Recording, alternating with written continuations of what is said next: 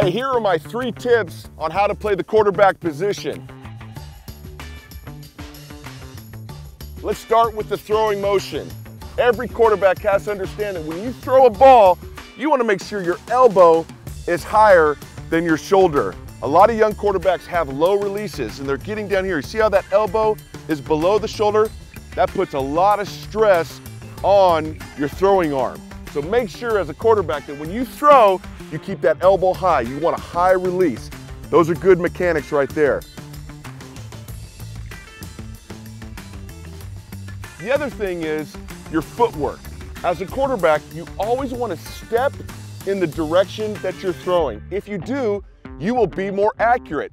Step towards your target, whether that target is a receiver, a running back, a tight end. Step towards your target, and of course, follow through.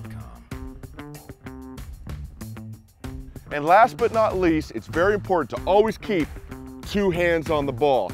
You start your throwing motion right here, you keep two hands on the ball, okay? If you're running with the ball, you keep two hands on the ball, you keep it close to your body. If you don't, you can get hit. The ball can come out, come out. That's a fumble. That's a turnover, and you can't win a football game turning the ball over. So, high release, elbow over the shoulder, step towards your target and follow through, and of course, always keep two hands on the ball.